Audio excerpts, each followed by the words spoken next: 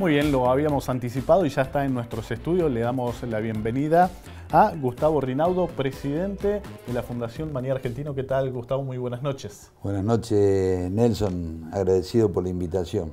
Bueno, hablar de esta importante actividad para la región. Eh, primero vamos a empezar hablando un poquito de la fundación. ¿De qué se trata la fundación? ¿Quiénes la conforman? Bueno, la, Fundación Maní Argentino eh, está compuesta por el Centro de Ingenieros Agrónomos de Cabrera y Zona, este, y por la Cámara Argentina del Maní. Es decir, ahí se juntó todo lo que sería la parte eh, práctica o agronómica con la parte comercial este, en la cual eh, se hizo esta unión por un problema de una enfermedad que tuvo el maní, había que empezar a investigarla, entonces bueno, ante el pedido de los técnicos que conformamos el Centro de Ingeniería Agrónoma y a, su vez somos, em, eh, trabajamos en las distintas empresas que componen la Cámara Argentina del Maní, es decir, logramos unificar criterios para poder empezar a investigar esas enfermedades de hongos de suelo, que bueno, que primero empezamos a trabajar con investigadores de, la Universidad Nacional de Río Cuarto, este, y después ya nos fuimos agrandando, es decir, la fundación ya fuimos con la Universidad Nacional de, de Córdoba, la Católica de Córdoba, la Universidad de Villa María y ahora ya estamos trabajando también hasta con el CONICET. Bueno, y se ha avanzado bastante en todo lo que tiene que ver con lo científico de aporte a la producción. No, sí, es decir, otro de, los miembros de científicos que aportó mucho el maní, que tiene mucha importancia, que me, había olvidado recién, es el INTA. El INTA ha trabajado mucho, es decir, desde su este, estación experimental de Manfredi como de la, de la Agencia de Extensión de Cabrera, este, fueron también pilares de toda la investigación. Y sí se ha adelantado muy mucho, es decir, en cuanto a la tecnología que estamos aplicando en el maní, hoy casi diríamos el maní lo estamos haciendo en siembra directa, este, el 95% del maní se hace en siembra directa, un cultivo que se eh, adaptó bien a la siembra directa, competir con, en ciertos lugares con la soja, este, tenemos una labor que todavía es discutible con cierto, con, cierto ambientalista que es la arrancada, pero es una, es una labor que lo tenemos que hacer porque el cultivo este, produce, pone sus frutos debajo de la tierra, en los cuales lo tenemos que cosechar, entonces para poderlo sacarlo tenemos que arrancar.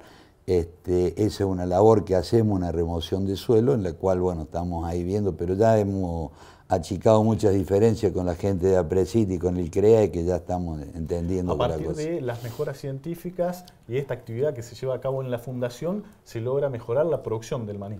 Sí, ya venimos, es, la forma en la cual que vemos que podemos estar aumentando la, producción del maní, eh, trabajando científicamente con todos los científicos que, eh, o investigadores que tenemos en la provincia, que son bastantes y buenos, este, entonces, bueno, hemos estado logrando y después con técnicas de, eh, con tecnología de manejo del cultivo, como con manejos de labranza, hemos estado, eh, la productividad del maní, es decir, ha aumentado en estos últimos 10 años mucho.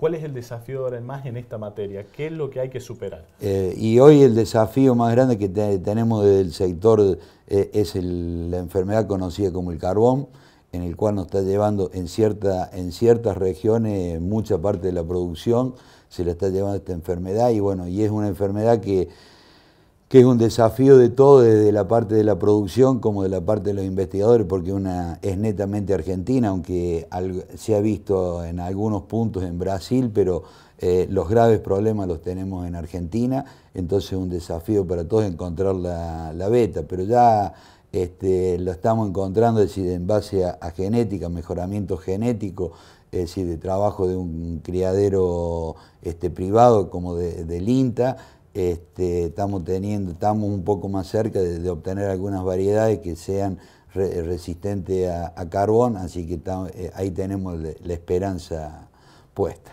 Gustavo, esto es un poquito lo que viene pasando con la Fundación. En términos generales, yendo a la actividad manicera, ¿qué importancia tiene para la región, para la provincia, para nuestro país? ¿Por qué es importante esto del maní? El, maní, es, sí, porque es netamente cordobés, es decir, se hace eh, más o menos unas 380 mil hectáreas, 400 mil en, en la provincia este, el, el 100% de las empresas en las cuales hacen la manufactura del, producto este, están en Córdoba. Este, de ahí la, importancia para Córdoba. E, económicamente para Córdoba representa el 10% de sus ingresos en dólares para la provincia, lo, aporta el maní, y para la nación es el 1% de, los ingresos. Entonces es una actividad con mucha importancia para nosotros, es decir, eh, es una eh, actividad en la cual genera directa e indirectamente unos 12.000 puestos de trabajo. ¿Y esto en cuántas, en cuántas localidades más o menos se lleva a cabo? ¿Son más de 30 las localidades? No, estamos dentro de las 30, si hay unas 25 empresas distribuidas en, toda la provincia, es decir, algunas con, con dos o tres plantas en distintos lugares, este, como ser la este, aceitera general de esa, la cual yo trabajo, es decir, tienen dos localidades, tiene dos plantas importantes en el cual el procesamiento del, del maní, sí, que es Endesa propiamente dicho y en Alejandro Roca. Este, así que sí, después está la firma Olega, este, que tiene en tres localidades, tiene representantes, es decir, tiene sus plantas. Es decir, es una, está bien distribuida, eh, diríamos, toda la, eh, en el centro de la provincia de Córdoba. Es una actividad de alto valor agregado. ¿Cuánto es el valor agregado? ¿Cuánto se destina a la exportación eh, hoy se exporta el 95% del maní que se hace en Argentina, se exporta, este, y de eso el 100%, no diría, el 98% es de Córdoba. Este, hay otra parte pequeña en Salta que también exporta, exporta por el norte, por Iquique, sale la producción. Este, y acá este, el 90, si se hace en cuanto a los productos que salen del maní, es si tenemos el maní blanchado, la manteca de maní y bueno, y el maní crudo este, que sale todo, se exporta a 106 países en el mundo. Bueno, a partir de, ahora eh, hay una mejora con respecto al 2016. Se habla que en este 2017 va a mejorar la producción del maní en más de un 30%. ¿Esto sigue esta tendencia o no son tan buenas las perspectivas?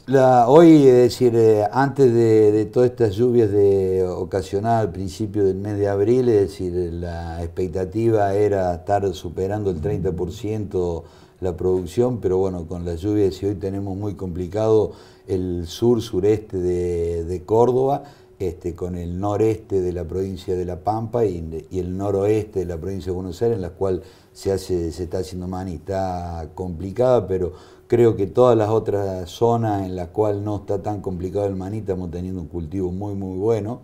Es decir, como casi como el año pasado, igual, y muy parejo, es decir, hoy el año pasado teníamos algunas zonas un poco más complicada en cuanto a seca o, de, bajo, eh, de, bajo, rendimiento como era el norte cordobés. Este, hoy el norte de Córdoba está, está muy bueno y entonces bueno, se van a equilibrar y vamos a estar en una cosecha igual o mejor que el año pasado, pero con mucho riesgo. Gustavo, es una actividad que tiene el 95% de valor agregado, prácticamente se exporta un 98%, genera puestos de trabajo a más de 12.000 personas, se desarrolla en más de 30 localidades. ¿Qué hay que hacer para mejorar el precio? ¿Tiene que ver con la energía, con el gas?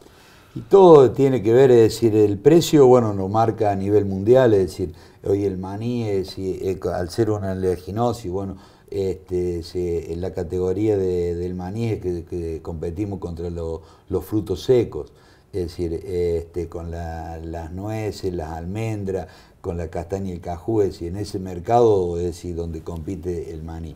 Entonces hay que presentarle un, un producto de alta calidad, entonces cuanto más servicio le o más manufactura le damos al producto, es mejor todavía la, posibilidad de, mejorar el precio. Este, eso está ahí dando vuelta, este, en el cual eh, calcula que es, eh, es un producto, estamos haciendo un producto en el campo a gran escala, bajo la tierra y es para consumo humano, en el cual es decir, todas las buenas prácticas agrícolas, desde la siembra del grano, hasta que lo cosechamos y pasa por la fábrica, bueno, está todo bajo normas este, rigurosas de calidad. Por último, y, relacionado con este tema, eh, en el ámbito político, legislativo, se habla mucho por estos días de los gasoductos troncales, el gasoducto manicero. ¿Qué importancia tiene que se realice la obra del gas para la actividad del maní?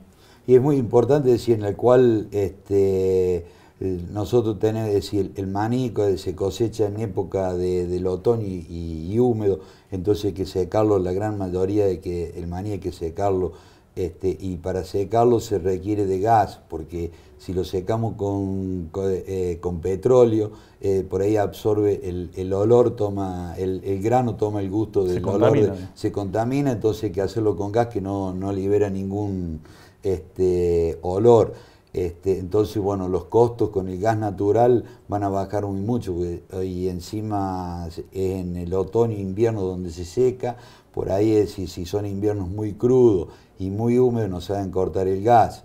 Entonces hay que hacerlo con Zeppelin. Con Zeppelin el, gas es más caro, entonces nos está aumentando el costo de, la producción. Entonces, bueno, este, este ramal va a ser muy importante para todas las las empresas en las cuales va a pasar el gas y, tienen este, tan, las plantas. Gustavo, muchísimas gracias por formar parte de este espacio de Primero Noticias y bueno, seguiremos en contacto para ver la actualidad de esta actividad importante en la región. No, muchas gracias por, eh, invitarnos y bueno, agradecido este, para fomentar el cultivo del maní, que es un producto netamente cordobés, este, así que, que bueno, para cualquier otra ocasión estamos disponibles para cuando ustedes quieran. Muchísimas gracias. Gracias. Muy bien, nosotros marcamos una pausa y ya volvemos con más información.